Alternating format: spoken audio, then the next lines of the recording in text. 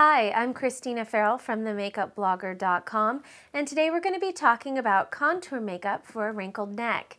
Now if you're feeling insecure about any type of wrinkles on the neck, it's very easily fixable with contour makeup which helps to shadow any fine lines and highlight the areas that you want to enhance. Step one, use a darker contour color along the outer corners of your jawline and under your chin take a softer, warmer color as well to blend that together.